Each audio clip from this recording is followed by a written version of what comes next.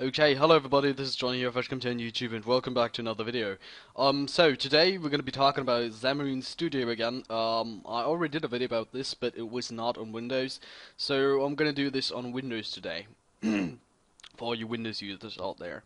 Okay, so I already created a new project, and I called this YouTube tutorial, just like that and I'm gonna get you into the basics of GUI design and how to interact with all the buttons you put on the graphical user interface so you can use the designer. So what I showed you last time was actually editing the layout by going to the XML file or AXML XAML I think that's it. Yeah. Um, but this time we're gonna do this using the GUI builder which is yeah just uh, something which uh, Xamarin uses and it's pretty cool. So when you first start a new project, this was the code I was talking about last time, that you have some pre-coded stuff in here. This is actually good as a reference, so you know how the basic things work, but we're just going to get rid of it right now, because we don't need any comments and things like that, because we do know what we're talking about here. Okay, so there some things I'm going to do. First, I'm basically just going to call this main activity, because I think naming convention is always a good thing, and now I'm just going to put a space here. okay, so this code basically means that main launcher that this is the main thing which is going to start. So whenever you start up the application, this is what's going to execute. Okay, um, so now to get into the GUI builder or editor or whatever you want to call it, um, you're going to go to your resources and to layout, and you should have your AXML file here. Okay, it was AXML, not XAML, I'm sorry. Okay, this basically means just Android XML file. Okay, so now you double click that and it's gonna load the layout. So as you can see right here, it takes a little bit of time, but usually it's quite fast. Okay, so first things first, I'm gonna get rid of the Hello World Click Me button. And right here you can see that you have the source actually here. So this is the source of the whole thing you're gonna do in your GUI builder and now all you have to do to add things to that, you have to drag and drop things in here. Now there's one problem, which is which kind of sucks, namely that I cannot get anything in here because of my recording software, which doesn't allow me to drag and drop things in here, but usually it just works fine. It's just because I'm recording this. So what I'm gonna do, I'm gonna set up a simple UI, so I'm gonna pause this video, and um, then we're gonna get back to this. So don't worry about this, um, I'll be back in a second. Okay, so I'm back and I set up this um, graphical user interface here. So all I did was just drag and drop all these elements in there. So what I was using right here is a text view large, I think it is. Um, it should be here. No, text large. And then I was just using text views, another text view. Then this is a person person name, I guess. Yeah, person name text edit and this is just a number text edit and this is just a button, plain button. So I'm going to show you how to interact with these elements and how to uh, get a good design done. So what here what I like to do is have kind of a header or title or whatever you want to call it. So there's also another title which is right up here which is just the name of your application but I'd like to notify the user what he's actually, uh, or which screen he is currently. So what I set up here is basically just this text view, and it says um, simply user creator because that's what we're going to do. And now I'm going to show you how to basically design this whole thing. So at the moment, thing, okay, sorry. so at the moment it doesn't really look that good. Um, so what we're going to do, we're going to put some yeah, space in between all these elements. So what we can do right here, we can set a margin. Um, so this is the layout margin top. You can do this, of course, using code, but what we're going to do, we're just going to kind of separate both things so this looks a little better. Now, this text right here can be right below this uh, text box because obviously that's what it's referring to. But this guy right here, we just want to put this up right. This. Oh, well, what is that? 16.0. Okay, we're probably going to set the same thing here. I don't know just like it. Okay, just like that. Okay, and this is our button. We're gonna resize this as well. Um, I'm just gonna show you how to interact with this GUI builder because it's really simple and you can really make some awesome apps with this. Okay, so the first thing we're gonna add is of course um, the person name. So I'm just gonna call this and change the text to person name. Now what I'm always doing is I'm using name conventions. So at the moment this is called the ID is basically what would be the name in Visual Studio. So this is basically what it's called um, and how you will be referring to it uh, using code. So what we're going to do, I'm just going to call this person label.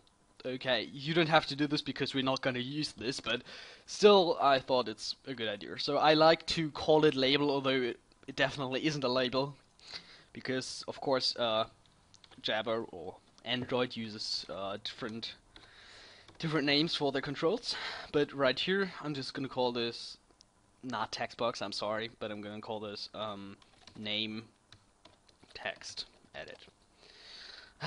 well, I'd rather not. It's actually called edit text, so I'm just gonna. Yeah, I'd like to shorten this, but okay. Okay. Name edit text. So this is, of course, what you want to do. I don't really care about this. Um, it's just for me to basically get this. Oh, um, by the way, what I want to put in here is actually the H. So I'm gonna call this H label and this right here is going to be my title label. So what I like to do as well is create a secondary title. So I'm going to do a title label. And by the way, if you want to put your apps on the App Store, that's working perfectly fine with Xamarin. You just have to publish it and create a key store, but we're going to get into all of this later on. But I can't really show you the process of me designing the GUI because of my crappy recording software, which is actually the most used one, but who cares? It's just not really working that good. Um, but well, okay, so now we're gonna put person age or something like that. and right here, what I put up in this text box, oh, text box, mm, H text, edit text it's called, okay. H edit text. And right here, uh, you can change the input type. Because what you can do right here is you can change the input type to something like this. So if, as an example, if you have a URL which someone needs to enter in here, you can do this by uh, picking text URI, or you can have cap words, cap characters, normal text, you can filter that, phonetic, and all this stuff is working just fine. This is really awesome that this is built in. And you can of course enable this password typing and all this, so that's really working just great. Now, I want to put the max length on I think about two, because no one's really using um, an Android device who is though older than 100 years, so this is very unlikely, so I'm just gonna leave it at that. okay, so then you can check some stuff in here. Okay, so now what my point really is that, um, oh, person name, of course.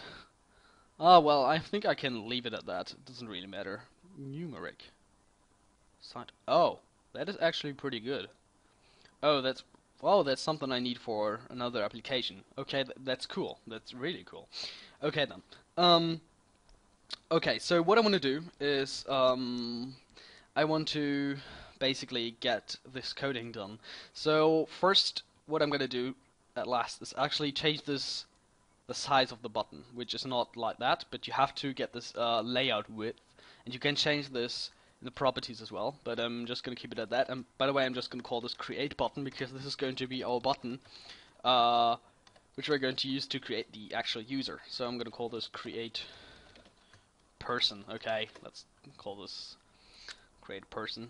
Um, and then, yeah, I'm just going to resize this.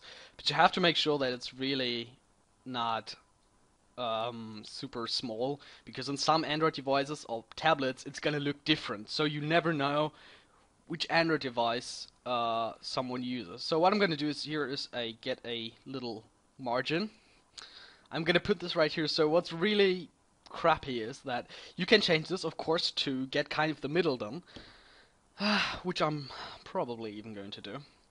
Yeah I'm, I'm kind of doing this the right way now because what you can change is in the layout right here in the layout tab you can change the the the weight I think it is. If you set this to one it should be sen uh, great. Okay. Um was it the gravity oh yeah that's the gravity so you put this on one and I think it's gonna be centered for everyone. So this is what you can do, and on every phone it's gonna be centered then, so you don't have to worry about any of this. I'm also going to show you how the whole application looks like uh, later on, so you can actually see how that goes then. Okay, so now that we're done with our user interface, um, we're going to get into the coding. So let's head back to our main activity right here. And as you can see, it's an activity. And we have this label, which is called YouTube, uh, YouTube tutorial. And just going to call this uh, person person app. Okay? Um, so this is going to be what's going to be displayed right over this yeah title label. Um, and yeah. Okay, now on create, the thing with on create is that it's gonna create all the elements, but the problem is that whenever you try to assign buttons, it's not gonna work because it's gonna have uh, you can't reference that really. So what I'm doing, that's at least what I experienced. So what I always do is um, I'm using onCreate to set some basic things, but not really too much. But what I like to do is um, if you want to add rotation to your application, so that it's like that, this is of course going to be quite different.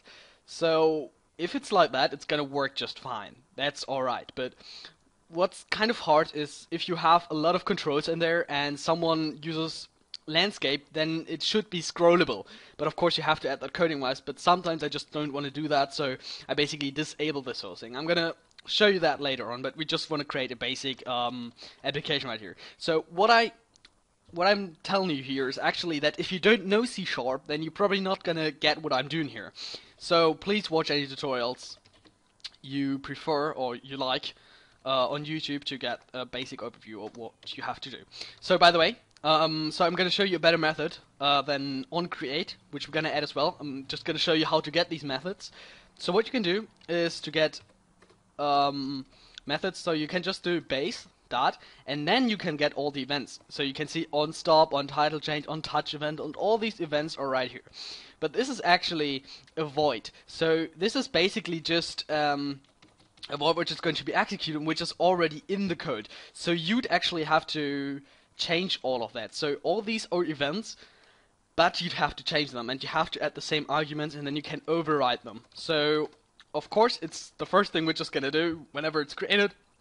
It's gonna do this and that. But we, of course, changed that here.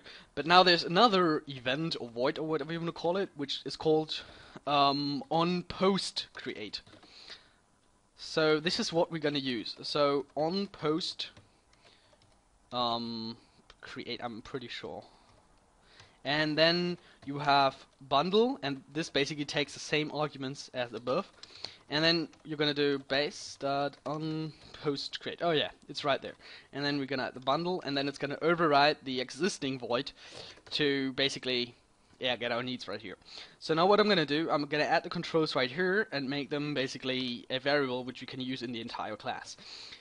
So what do we need to interact with? I guess this does not really matter for this application, but usually you have to interact with um, with the controls you have in your form or in your I don't know what's that called in here in your layout. Yeah, layout it is. So what you usually have to do, you have to declare them up here. So basically, you have to add a button right here, and then you're just gonna call this I don't know create button. I'm just gonna do it the way I usually do it if I wanted to interact with all the uh, all the controls. So to interact, what I mean with that is changing properties of the control.